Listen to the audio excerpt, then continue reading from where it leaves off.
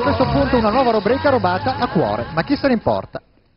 Diciamo così che riusciamo anche ad andare in discoteca, io vado soprattutto il lunedì, massimo il martedì, ecco. Eh beh, certo. Poi ultimamente sono nati un po' del...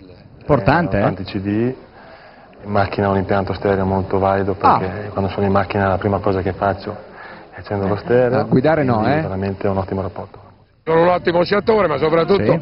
un bomber, sono un centravanti che segna ancora. Ma dai, pelle L'unica d'oca. cosa che non, che non mangio, che sono allergico, il formaggio, qualsiasi tipo di formaggio. Ma Riesco va, solo a mangiare meno un po' male di che ce l'ha mozzarella detto, sulla eh. pizza e basta. Ultimamente Franzetti è un interista, ha una moglie milanista. Ma va.